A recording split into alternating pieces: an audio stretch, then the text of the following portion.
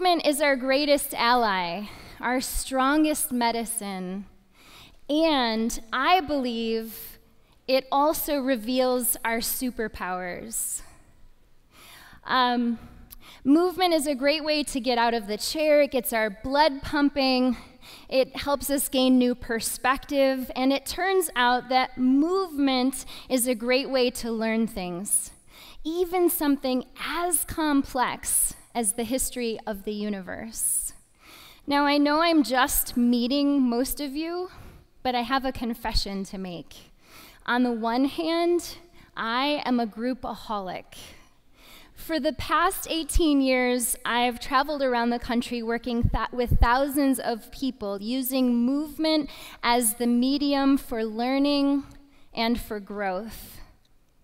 Movement quickly activates somatic intelligence, and that somatic intelligence, you know, the, the intelligence of the body, exponentially increases in collaborative, engaged groups where there's no scoring.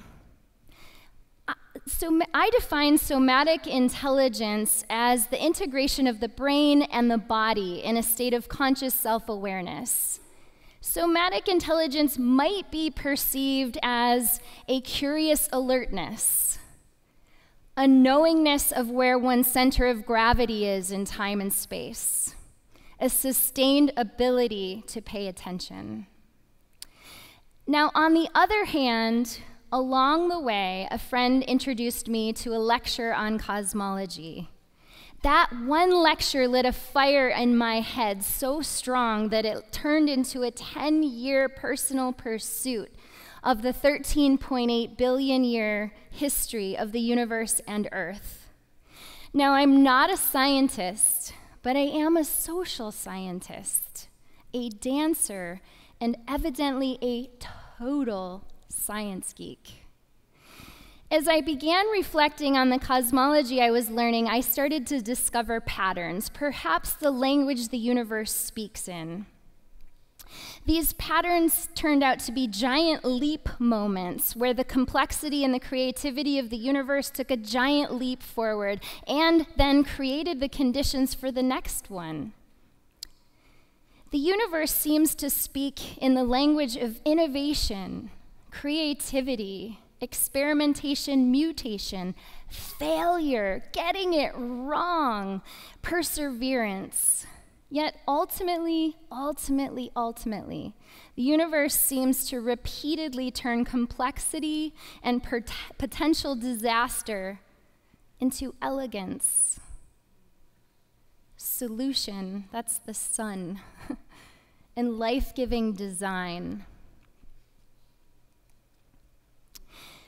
Now, I'm going to take us a tour through those leap moments. Scientists tell us that without the heat generated from the Big Bang, there would be no hydrogen or helium. Without helium, there are no stars or galaxies. Without stars or galaxies, there are no solar systems. Without nucleosynthesis in our solar system, so the red giants that explode and make transiron elements as they supernova, without nucleos- nucleosynthesis in our solar system, there would be no Earth. Without Earth, there's no ocean. And without ocean, there's no salty brine for those single cells to emerge. And without single cells, my friends, there is no you, There is no me, and there is no TED Talks. so, one night in Boulder, Colorado, these two aspects of myself collided. I was teaching a movement class, and the science geek in me erupted onto the scene. And I began guiding my students in the journey life had been through from the ocean onto land. After class, my students were all abuzz. They wanted me to know what had happened. They reported that the history of life went from a distant, faraway, somewhat irrelevant concept to something they literally felt connected to, included in, and excited about. And you know what happened for me, right? Did I just discover the secret formula for creating more science geeks? I wanted to know what happened, so I made a decision that night. I thought if in one night my students went from concept to living felt experience, what would happen if we went through each of these giant leap moments in the 13.8 billion year history of the universe, using movement as the medium for deeper understanding? That night, I made a decision, and two, two of my dear friends and I called a small group of people together. And we, got, we met in a, a dance studio and we began bringing these two distinctive worlds together. There was a lot of talk in my circle of friends and colleagues at that time about our growing ecological planetary pickle. you know the one, you know the story rising greenhouse gases, loss of species and their habitats, overpopulation, some even saying we are racing our own extinction. But wait, the science geek in me had heard this story before. It sounded a lot like one of those threshold moments, one of those leap moments in the 13.8 billion year story that is equally marked by trial as it is by potential. And my mind went to those first single cells. You know the ones, the ones who invented photosynthesis. Yet in the process, they created so much oxygen, it was literally killing them. But obviously, they made it through their pickle. How? I stumbled upon a quote by Albert Einstein that confirmed my intuition. He said, We cannot solve our problems from the same level of thinking that created them. So, what kind of thinking is needed? How does the universe think? And what did those first cells rely on? To find the solutions they needed to keep life going. Have you ever met anyone with a 13.8 billion year track record of success and innovation? Look to your left and look to your right. Now you have. I mean, think about it. The human body is made of 76 trillion cells, each of those cells coursing with a life that has literally been maturing for billions and billions of years. And no matter how we try and squirm out of it, we too are connected to that legacy. So I thought, I want to learn to think like that. Let's become giant leap thinkers. So I called deep on my experience with groups as living systems.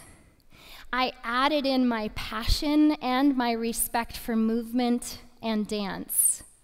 And I heavily sprinkled in the 13.8 billion year science as best I understood it. It started out as a 15 month prototype in Boulder, Colorado, and has since become a nonprofit project that houses a non formal movement based science curriculum of the 13.8 billion year history, as well as a stage production I've written and perform. For the last four years, I've traveled around the country offering this method to thousands of people in cultural centers, schools, uh, community centers, museums, universities, colleges. Whoop. So, do you want to see how this plays out in the real world? Awesome. So, as our volunteers come forward, what we're going to do is, um, and if the house lights can come up a little, that would be awesome. Um, oops, okay. Um, we're going to take a brief um, we're going to leap back in time. So let's see a show of hands of the people who remember a time before the cell phone. Okay, cool. Um, before we landed on the moon, before the light bulb, the automobile, the printing press, right? Before we domesticated the seed and created agriculture, before we discovered fire, before the first hominins became bipedal before the first warm blooded mammals, before the dinosaurs, the reptiles, the amphibians. Now we're back in the ancient sea where the bone, the lung, the muscle, the eyeball were invented. Let's zoom back 550 million years ago to the Cambrian explosion. Before that, we had snowball Earth. And now we are 3.9, 3.5 billion years in the past. So please take 10 seconds and bring to mind everything you think you know about photosynthesis. Begin moving. You are single cells in the primordial sea. The ocean is recently formed, and there are still clouds. It's a bit stormy. And your primary source of food single cells, even though you don't have eyes, you don't have hands, you don't have a spinal cord yet, your primary source of food is hydrogen. Now, we are all in this moment of imagining, trying to imagine what it was like way back then. The, this radiant, warm sunlight trickles down through the atmosphere into the ocean water, and you cannot help but want to commune with it. So you start shaping your body in all different ways, trying to catch the sunlight.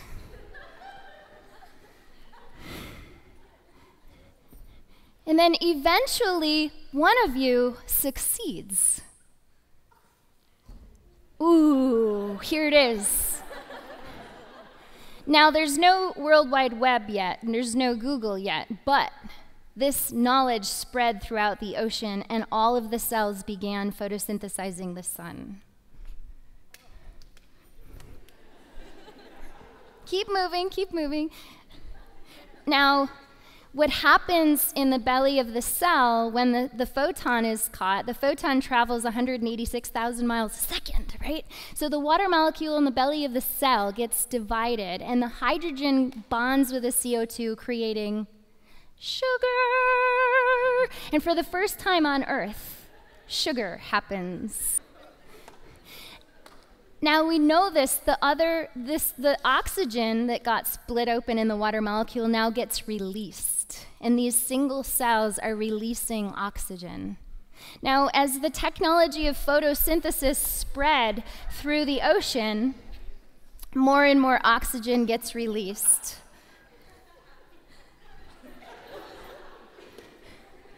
Yes, yes, yes. That oxygen begins to saturate the ocean water over time. That oxygen then saturates the atmosphere as well. And as we know, any too much of any good thing eventually becomes toxic. So the environment was toxic there were some organ, organisms, there were some cells that didn't do anything to adapt. Some of them didn't, didn't respond at all, and they perished. And we know they died because of the carbon records.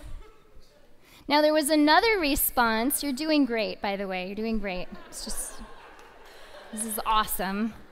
Now, the other response was that some of the cells tried to get away from this toxic, lethal substance, and they swam deeper and deeper into the deeper layers of the ocean, into the strata. And we know that because they're still there and they haven't evolved. And we weren't sure. Life was on the brink. Was life going to continue? Okay, so we need half the group over here and then half the group over here. Okay. Now, we weren't sure. Was life going to continue? Okay, so you are the ancient ones of the ocean. Yes. And your particular strength is being a strong cell wall. You know what to keep out and what to keep in. So let yourself embody that. Now, you over here, you are the new ones on the scene. That's right. You are the innovators. Come out of the, yes, there are no corners in the ocean. Okay, so yes, and come together. Now, you know what to do with this oxygen. You know how to take it in and turn it into fuel. So work together at creating this amazing new invention that life created.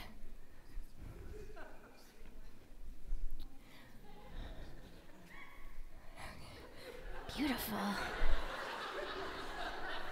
Okay. Awesome. You are so intelligent. You've been around a long time. You know what to keep in, what to let out. Yes. Okay, so you're taking the oxygen, you're turning it into fuel. You are so awesome. And I just have to tell you, you're also new to the ocean. And so, you know, you might need a little more protection, some warmth, and they have something that you need, and you have something they need. Okay, so I know you guys are just amazing at this process. And if you don't figure out what to do with this oxygen, it's over. But they have something that you need.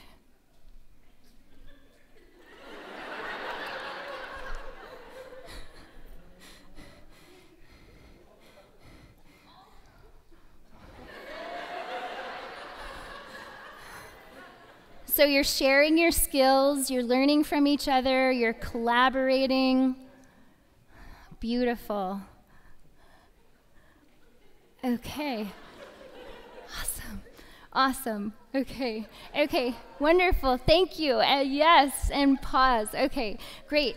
So, so what would it mean to embody this level of participation and human engagement in our schools and in our businesses?